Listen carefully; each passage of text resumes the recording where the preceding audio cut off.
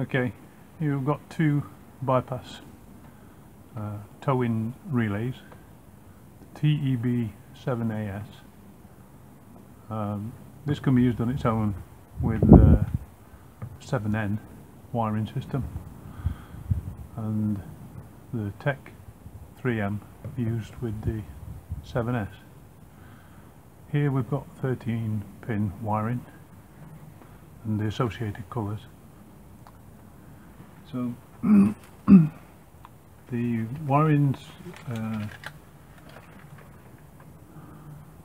on this side goes out to the tow bar and on this unit and sensor wiring is here going into these blocks which needed a little bit of uh, investigation to determine which wire goes to which light but by removing the light cluster you can quickly uh, find out what the order needs to be.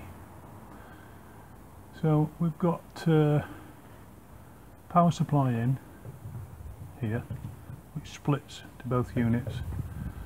It's a 4 mil. Uh, used to be around about 35 amp. This uh, this has got 40 amp in 40 amp mini fuse direct from the battery.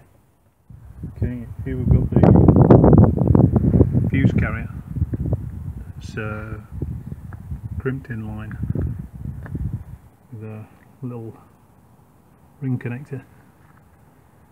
That's the feed to the uh, bypass relays.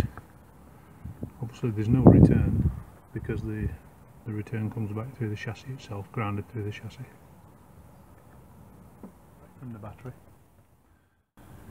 Your caravan system usually dictates that uh, the system needs to be a, uh, through a relay which switches on only when the engine's running. And in effect that's what this does. It senses battery voltage and uh, the alternator output. And if both are sufficient the relays inside contact or close and create the connection out to uh, pin 6 here which is brown and blue. That's out to here. Uh, refrigerator fridge freezer and then the red and brown that's permanent live through pin 4 on the 13 pin system pin 2 is not used. And then here we've got the incoming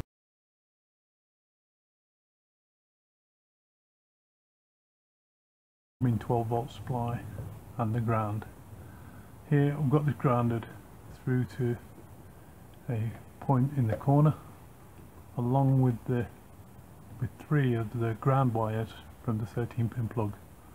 That's the blue and white green and white and white.